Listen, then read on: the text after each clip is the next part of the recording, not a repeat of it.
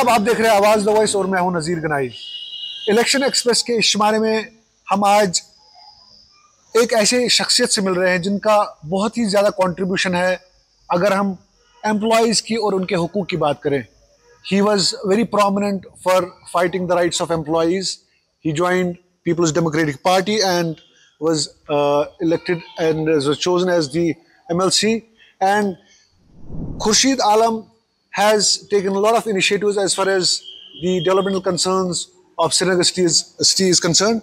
Uh, साहब बहुत बहुत शुक्रिया। Thank you very Uh, much आज इलेक्शन का दौर है इलेक्शन का इस वक्त टाइम है और बहुत सारी पार्टियाँ जो हैं बहुत सारे जो कैंडिडेट्स हैं अपना मंशूर लेके अपनी जो कहानियाँ लेके लोगों के पास जा रहे हैं। खुर्शीद आलम क्या लेके जा रहा है? अपनी कॉन्स्टिट्यूंसी जो आपकी कॉन्स्टिट्यूंसी ईदगाह है। ईदगाह बदकिस्मती से एक पसमानदा इलाका रहा है। पिछले पैंतीस चालीस साल से जो नुमाइंदगी वहाँ रही है बहुत ही कमज़ोर रही है बहुत ही कमज़ोर बहुत ज़्यादा कमज़ोर। ये इलाका मीर कबीर मीर सैद अली हमदानी अलैह ने सात सौ साल पहले रूहानी बसीरत से ईदगाह के लिए चुना था जो इज्तमाही इबादत के लिए जगह बनाई गई थी। उसको कूड़ादान बनाया गया। पूरे शहर श्रीनगर का जो कूड़ा करकट निकलता है वहीं पे डंप किया जाता है। बिल्कुल। पूरा इलाका बदबू से भरा हुआ है। तामीर और तरक्की के नाम पे कुछ भी नहीं है। कुछ भी नहीं। कीचड़ है हर तरफ़ कीचड़ है। गाड़ी सड़क नहीं है गद्दी खराब है हर चीज़ खराब है। और दूसरी तरफ़ से जो उसमें अर्बन एरिया है मेजॉरिटी ऑफ़ द यंगस्टर्स जो नौजवान वहाँ के हैं किसी न किसी दफ़ा के तहत कैद बंद में रहे पकड़ डकड़ में रहे केसेस उनके ऊपर हैं एफ़ लगे हुए हैं। बहुत सारे जेलों में बंद है बाहर के जेलों में बंद है। हाँ। तो ये दो सिनेरियो जो हमारी कॉन्स्टिट्यूंसी के हैं मेरा जो आगे मुझे लगता है कि अगर अल्लाह ताला ने इज़्ज़त बख्शी लोगों ने हिमायत करी तो एक बड़ा ज़बरदस्त काम ज़बरदस्त चैलेंज से कि लोगों के तवक़ात पे पूरा उतरना क्योंकि पैंतीस साल लोग सताए हुए हैं लोग पिछड़े हुए हैं मायूस हैं बेरोज़गारी है जेल बंद है तरक्की के नाम पे कुछ भी नहीं है। सो आई फील कि अगर अल्लाह ताला ने चाहा मैंने उन लोगों से भी मैं जहाँ भी बात करता हूँ ये वादा करता हूँ कि मैं इस इलाके की तरक्की के लिए इस इलाके के मसाइल के लिए ज़ाती मसाइल के लिए लोगों के मसाइल के लिए तामीर तरक्की के लिए जदोजहद करूँगा जो मेरी ज़िंदगी का वतीरा रहा है। मैंने उस वक्त ट्रेड यूनियन शुरू करी है जब हाइस्ट ग्रेड हमारा 220, 320, 430 का था। हाँ। और जदोजहद करते करते वो आज एक लाख से ऊपर चला गया है। इंस्टीट्यूट प्रमोशंस मुलाजमन के मसाइल रोज़मर्रा के जो मसाइल थे, एक कल्चर जो बना हुआ था, गाली गलोच का, उसको दूर किया है, मुलाजमों की इज़्ज़त नफ्स को उजागर किया है, उबारा है। सो मुझे, मेरा यकीन अपनी क़वत मदाफत पे है, जद्दोजहद पे है।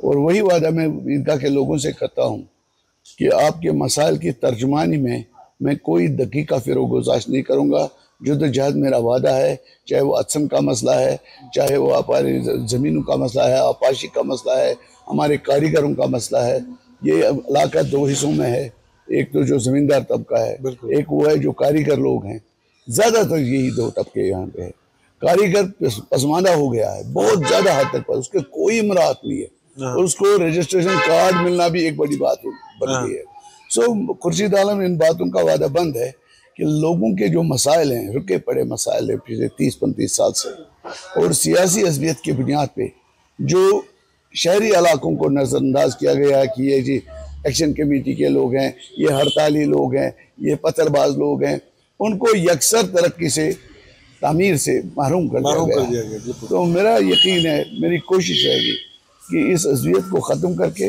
लोगों को बेहतरी के लिए काम किया जाए सियासी बुनियादों पे मनाफरत ना फैलाई जाए हाँ। लोगों को यकसा नज़र से देखा जाए और तरक्की में लाया जाए उनके काम देखे जाए उनके मसाइल को एड्रेस किया जाए। इनफैक्ट आपकी जो कॉन्स्टिट्यूंसी है it's it's a very peculiar constituency जहाँ पे आर्टिजन बहुत ज़्यादा है। बहुत ज़्यादा। और उनके भी मसाइल बहुत बहुत ज़्यादा है। बहुत ज़्यादा। वो गरीब से गरीब तर होते गए। आवाज़ दो इसका टीम जो है कॉन्स्टिट्यूंसी गया और हमने लोगों से भी बात की।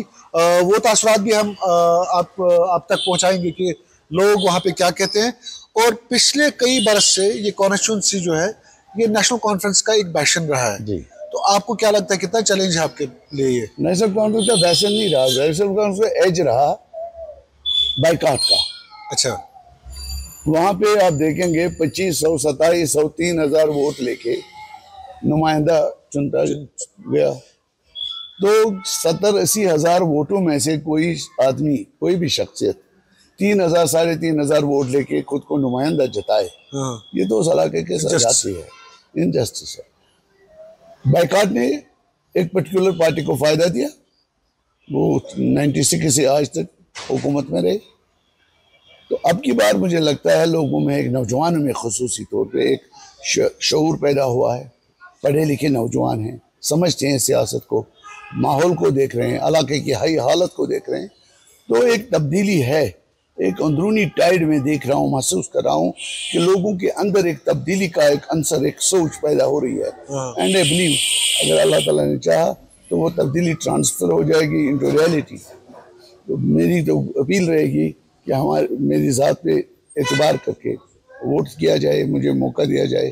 So that I can prove myself election का जब टाइम आता है इलेक्शन का जब वक्त वक्त आता है तो हर एक तबका जात जो है उसमें कैंडिडेट जाते हैं।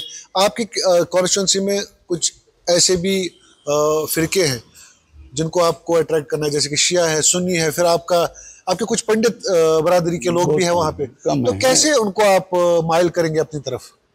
देखिए ज़िंदगी भर मैं जिस क्लास को रिप्रेजेंट करता रहा उसमें हिंदू सिख बौद्ध हर कोई मुलाजिम मजदूर डेलीवेजर ये movement. लद्दाख की भी। हाँ। लद्दाख से जम्मू तक हमारी ऑर्गेनाइजेशन का चलता था एक काम हो रहा था। मुलाजिम का एक डिमांड होती थी वो सबकी होती थी। So I have never it has never come to my mind कि हिंदू है सिख है बौद्ध है ईसाई शिया है सुन्नी है। This is the creation of certain elements जो पॉलिटिकल एलिमेंट्स बन गए हैं हाँ। जो सोसाइटी को शिया सुन्नी गुजर पहाड़ी इन चीज़ों में तकसीम करने की कोशिश कर रहे हैं। ये एजेंडा रहा है भारतीय जनता पार्टी का बहुत सालों से।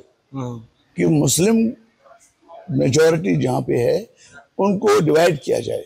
वो सवामी उनके एक लीडर थे मुझे याद है उनका इंटरव्यू उन्होंने कहा था we have to divide Muslims into factions शिया अलग है पहाड़ी अलग है गुजर अलग है इनको अलग कर दो बाकी कितने रह जाएँगे। So it was it is a design we have to fight against all these conspiracies हमने एक मेजॉरिटी मुस्लिम स्टेट की हैसियत से ये सोचना होगा कि वी आर द गारंटी जो हिंदुस्तान में मुसलमान हैं उनका एक हमारे ऊपर ज़िम्मेदारी है कि हम एक जिम्मेदाराना रोल अदा करें।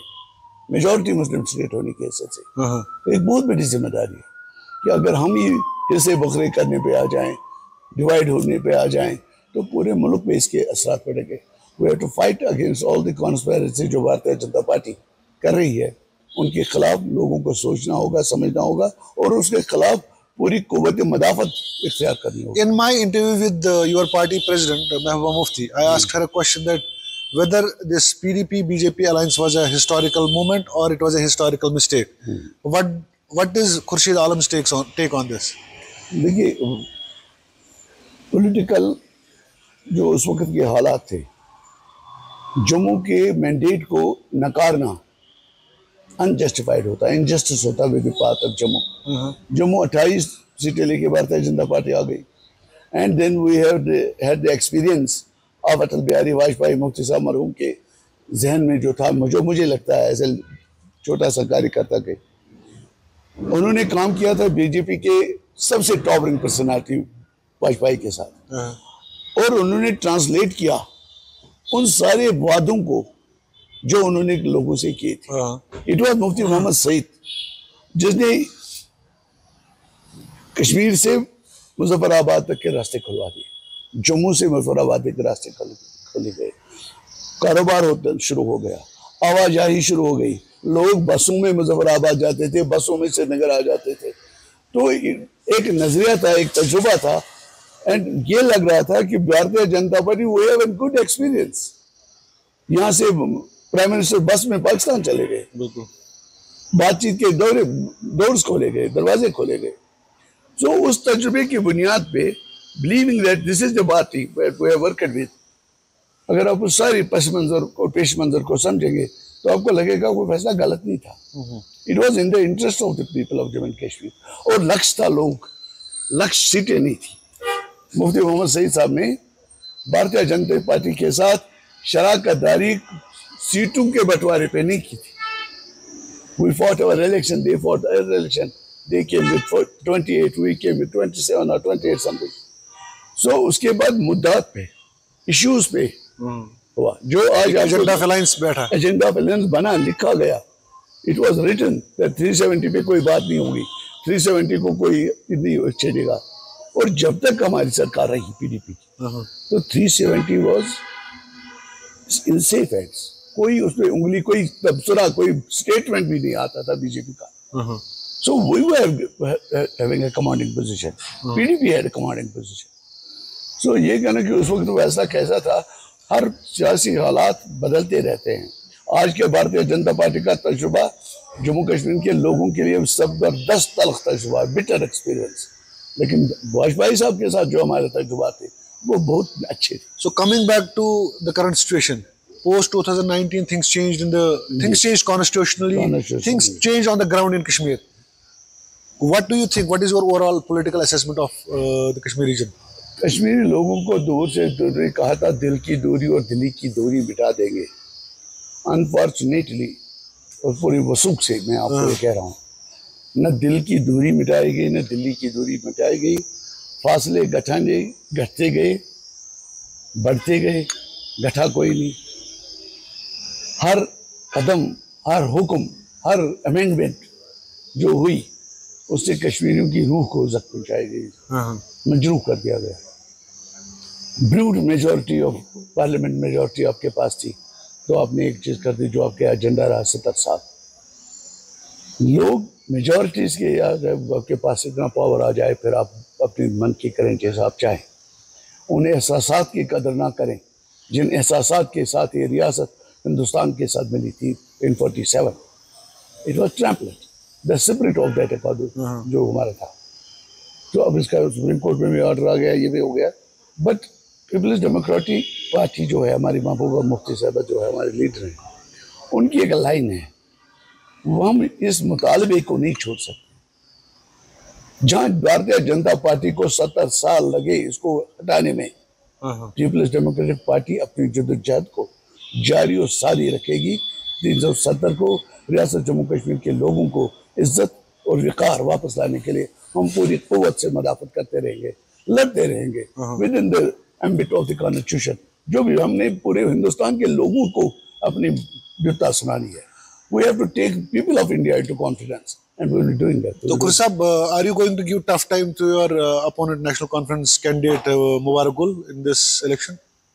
देखिए हर कोई कैंडिडेट एक दूसरे के लिए टफ ही होता हो छोटा हो बड़ा हो मैं अपनी ज़ात को अपनी पार्टी को अपना असासा मेरा है महबूबा मुफ्ती की ज़ात उसके लाइन उसकी पॉलिटिकल अप्रोच इस रियासत के बारे में उसका दर्द दिल उसकी मसाइब जो वो उठा रही है पाँच साल से। ये मेरा एडिड एडवांटेज है। इन एडिशन टू कुर्सी आलम मेरी हिस्ट्री मेरी जदजात मुलाजमों के लिए क्या क्या है टेलीविज़न के लिए क्या क्या है मैन मेहनत के लिए क्या किया है। हमने इनकलाब लाया। हमने इनकलाब लाया मुलाजमिन के, जब हमारे हाथ में ट्रेड यूनियन का बागडोर थी।